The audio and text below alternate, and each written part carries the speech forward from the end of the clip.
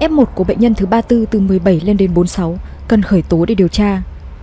Bệnh nhân COVID-19 thứ 34, nữ doanh nhân Đặng Thị Linh Trang, giám đốc công ty trách nhiệm hữu hạn vật liệu xây dựng Minh Trang 51 tuổi, đang được xem là trường hợp siêu lây nhiễm không chỉ ở Bình Thuận mà còn liên quan đến một số địa phương khác. Liên quan đến bệnh nhân này, hiện có 10 ca dương tính với COVID-19, hai khu dân cư cũng bị cách ly, gây thiệt hại về kinh tế xã hội. Điều khiến dư luận bức xúc, phẫn nộ là dù biết bản thân nhiễm COVID-19, nhưng bệnh nhân cố tình khai báo nhỏ giọt, thậm chí gian dối, gây khó khăn cho cơ quan chức năng trong công tác kiểm soát, phòng chống dịch bệnh. Bệnh nhân 34 được phát hiện dương tính với COVID-19 vào ngày 10 tháng 3.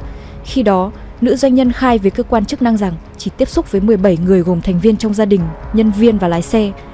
Khi ngành y tế Bình Thuận tiếp tục làm việc với nữ doanh nhân để ghi nhận thêm thông tin về những người tiếp xúc, bệnh nhân mới thông tin số người tiếp xúc là 21 rồi 31. Tuy nhiên, đến thời điểm hiện tại, bệnh nhân thông tin tiếp xúc đến 46 người. Việc khai báo không đầy đủ của nữ doanh nhân đã khiến công tác phòng chống dịch rất khó khăn. Lãnh đạo Bộ Y tế và tỉnh Bình Thuận nhận định, bệnh nhân thứ 34 rất phức tạp. Sở Y tế Bình Thuận cũng đã đề nghị công an tỉnh vào cuộc điều tra hành trình về việc tiếp xúc của nữ doanh nhân với người khác.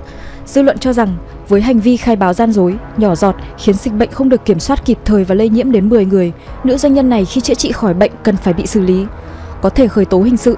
Thời gian qua, không ít bệnh nhân đã có hành vi gian dối trong việc khai báo y tế, không thực hiện biện pháp cách ly y tế bắt buộc và gian dối trong việc khai báo lịch trình đi lại, tiếp xúc của mình dẫn đến lây lan dịch bệnh cho cộng đồng.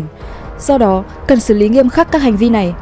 Một số luật sư cho rằng hành vi che giấu tình trạng dịch bệnh, che giấu lịch trình tiếp xúc dẫn đến việc lây lan dịch bệnh cho cộng đồng thì không chỉ xử lý hành chính mà còn có thể xem xét truy cứu trách nhiệm hình sự. Cụ thể, để xác định những trường hợp khai báo gian dối làm lây lan dịch bệnh như trường hợp bệnh nhân 34 có đủ để xử lý hình sự hay không thì cơ quan chức năng cần khởi tố vụ án để điều tra.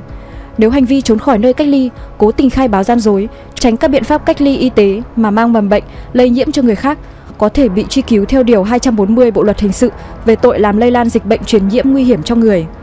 Người phạm tội có thể bị phạt tiền tối đa 200 triệu đồng hoặc bị phạt tù 1 đến 12 năm tùy vào hậu quả gây ra. Trong tình hình dịch COVID-19 đang phức tạp như hiện nay, cần phải làm quyết liệt để gian đe và phòng ngừa chung. Đối với những người có điều kiện, chỉ phạt 5 đến 10 triệu là không đủ sức gian đe, trong khi đó hậu quả gây ra cho xã hội là rất lớn. Hãy like, share và đăng ký kênh để cập nhật những thông tin mới nhất về dịch COVID-19.